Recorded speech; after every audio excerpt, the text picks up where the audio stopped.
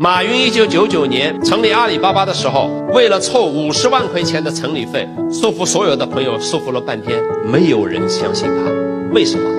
因为他在做阿里巴巴之前已经做了四家公司，没有一家公司真正做成功过的。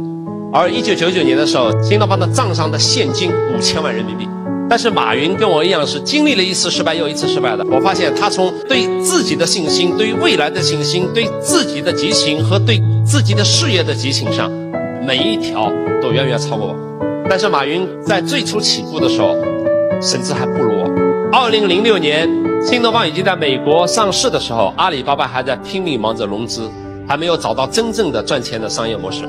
但是今天的阿里巴巴，美国上市公司，市值。一千多亿美金，我在新东方上市已经十年了，奋斗到今天，新东方的市值才只有六十亿美金。所谓的迎接挑战，就是你生命中不存在失败这两个字，只要你把自己敢于推向不可知境界，你就一定能够做到柳暗花明又一村。